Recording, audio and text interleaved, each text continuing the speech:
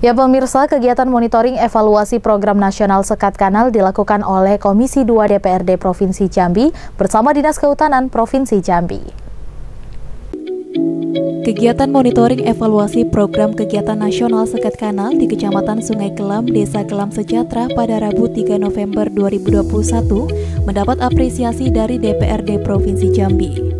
Komisi 2 DPRD Provinsi Jambi Raden Fauzi menyatakan kegiatan ini dilakukan dan diharapkan berjalan dengan baik dan efektif di mana tujuan dari pembangunan ini adalah sebagai upaya agar ke depannya tidak akan terjadi kebakaran hutan dan lahan.